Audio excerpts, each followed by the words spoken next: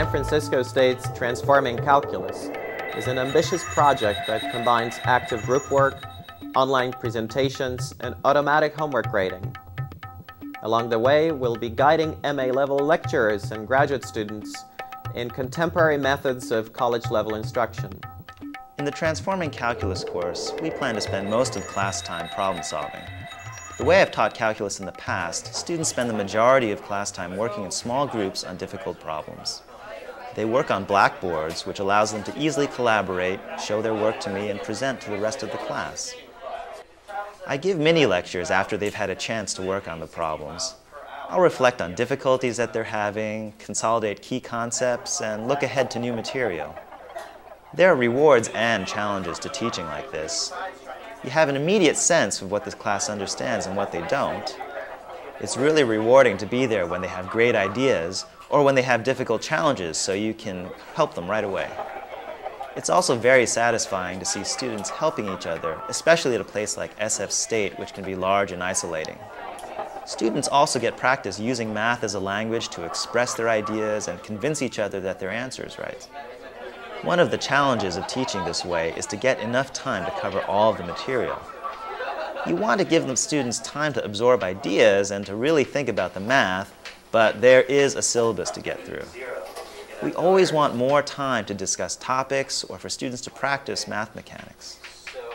Arek Goetz and David Meredith are working on technology to help us use time more efficiently. I've been experimenting with some success on distance learning and using the internet to stream lectures and to allow students to collaborate on homework.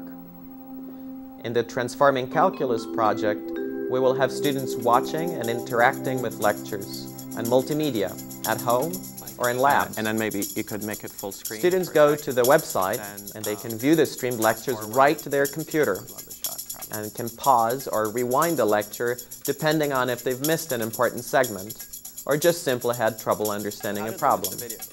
The lectures will have short uh, comprehension quizzes. These quizzes pause the lecture, so students will be able to get that immediate feedback to see if they understood the main points. We are essentially moving the lectures out of the class meetings and onto the internet, where they can watch them at their own pace. The lectures will be archived, so they can go back for a review. This leaves time in live class meetings for difficult problems, group work, and other activities. We are also attempting to use computers to streamline homework submission and grading. Computers today have the capability to grade most homework questions, even those with symbolic answers. This gives the students immediate feedback on their work, a key learning tool, and saves the labor of grading homework. Because of this, our Transforming Calculus course will have the students doing most of their homework through WeBWorK. The computer can't grade really deep and rich calculus problems that involve analysis and argument. But computer grading of exercises will allow the teacher to focus on assessing the harder problems. There have also been advances in computer visualization in recent years. A lot of calculus is dynamic and graphical, and we would like to use computers to make these aspects of calculus visible to our students. One other challenge for teaching a class with lots of active learning is just getting around to all the students.